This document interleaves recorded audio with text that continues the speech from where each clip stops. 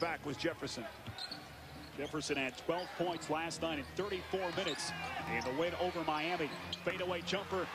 And they've tied the game at six. Pretty good shooting so far off the bat. Both sides.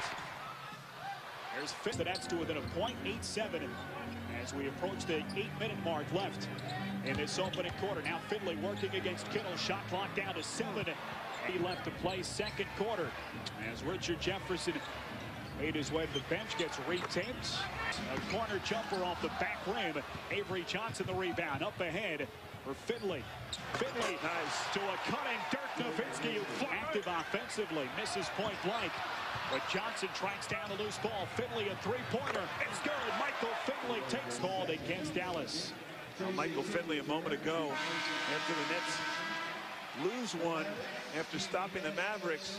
They, Michael Finley has kept the offense going against the Nets. And Michael Finley, one of those guys of the trio that can put the ball in the hole. He's doing it from a variety of angles from the outside. But again, along with Nowitzki and Nash, they pick Van Exel on the injured list. A little zone here by the Nets defensively. Finley tries to break it down and his shot partially blocked, but he stays right with it. And Bradley. Good block out. Nash looks to push. Cross court for Finley. He's feeling it. One quick trigger jumper off the inbounds. Here's Nash one-on-one -on -one with Kittles. Nash goes to the left-handed scoop, can't finish, but Finley is there to clean it up. The tumble quickly on the help defense. Shot clock winds down to six seconds. Fall away from Finley. It's good. You see the assists in the first half. Just six, as we said. They got five already in this quarter.